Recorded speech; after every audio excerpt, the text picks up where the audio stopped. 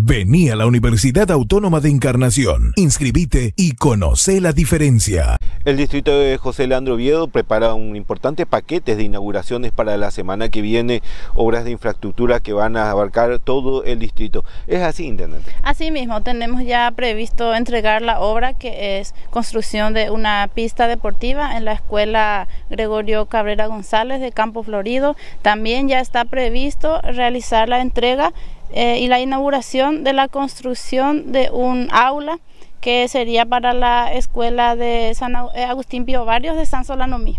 Importantes eh, inversiones por parte del municipio. Por supuesto, y lo más importante es que son con manos de obra local. Así también le damos un empujoncito a nuestros compueblanos.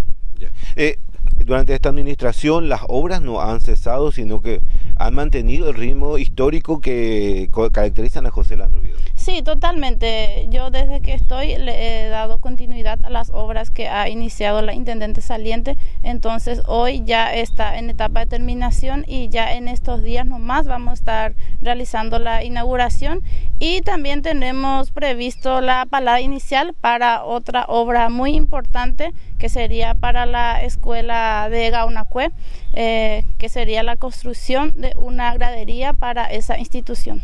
Excelente. ¿Hay otras proyecciones para José Landro Vidal? Sí, tenemos otras obras que vamos a estar llamando a licitación, como sería el parque infantil también, para la utilización de las escuelas, para los más pequeñitos.